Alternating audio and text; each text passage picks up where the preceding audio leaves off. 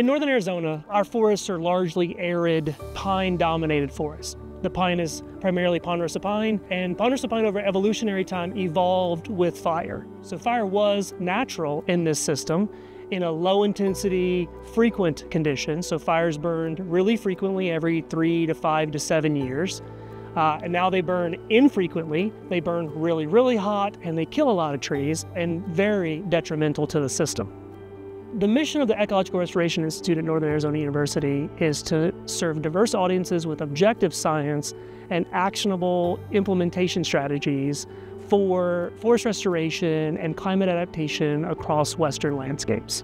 Forest management often involves managing forests for the benefit of a large population in order for them to have recreation opportunities, forest products, socioeconomic values. And so getting people to think about how treatments could restore forests as opposed to just producing traditional forest products and forest outcomes uh, was the primary focus of the Institute.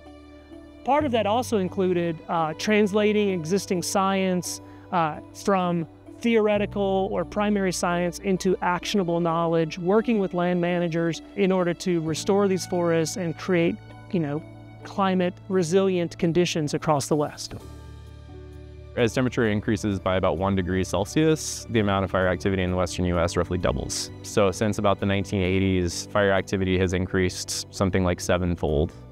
Um, and about half of that is due to warming temperatures attributed to climate change. Forests also have a harder time recovering after fire as temperatures get warmer because those places are no longer suitable for the species that were there. So we've been doing a lot of research in tree planting and how to best go about doing the restoration of forests after they've burned severely in some of these ecosystems. Using satellites to track how quickly places that have been planted are recovering after they're planted. And it seems like about a 30% increase in the rate of recovery if you go out and plant trees in a burn area relative to just kind of like the natural processes operating on their own. Incorporating biochar can help immensely in forest restoration. It can help restore a degraded or contaminated soil. It can work with the soil microbes and create a condition very good for the plant growth. It holds water for a very long period of time and in a region like Arizona adding biochar can help the irrigation problem a lot. These are two saplings from our experimental site. It's a forest soil that was degraded, completely degraded by forest fire. And we planted both in last fall. This is with biochar, so happy and healthy. And this is a sad one without biochar.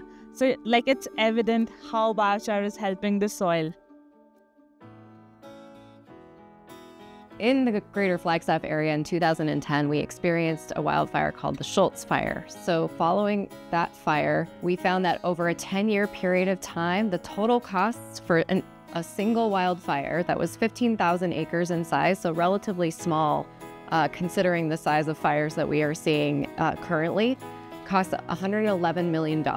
Only 10% of that cost was associated with fire suppression. So, what that means is that the rest of those economic costs associated with one single event included things like post fire flooding mitigation, cleanup, impacts to household, disruptions to uh, personal lives. So the true cost of wildfire is much higher than the cost of restoration in advance of the fire. In short, being reactive is more expensive than being proactive what we're working on more and more today is cross boundary work, where we, we work with collaborative partnerships across multiple ownerships. We have federal landscapes, state owned landscapes, county owned landscapes, privately owned. A lot of this work was focused on wildfires and threats to our communities.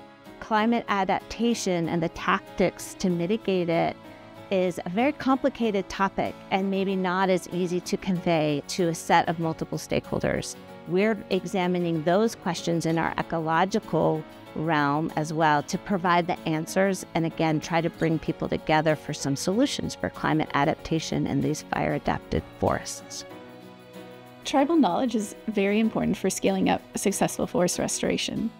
There are 22 federally recognized tribes within Arizona, many of which who manage their own forest lands and all of which who have ancestral ties to, to lands that are currently federally managed. Tribes in particular have an extensive knowledge of cultural burning. There's been a large push towards trying to understand how to get more cultural burning onto the landscape and seeking better support for tribes to be able to do something like that and to increase the use of fire across the landscape. And so I think building on tribal relationships requires consistency and persistence and also respect of their perspectives. And that's what we have been trying to do through our work here at the Ecological Restorations Institute. Just in my short time in this profession, I've seen a lot of things change, both within the culture of forest management, but also with the incorporation of forest restoration. From really an agricultural resource extraction approach to forestry and forest restoration to a more holistic, comprehensive approach to forest management. So that holistic approach to viewing the forest as a whole, but also where we fit into it is makes me very hopeful for the future.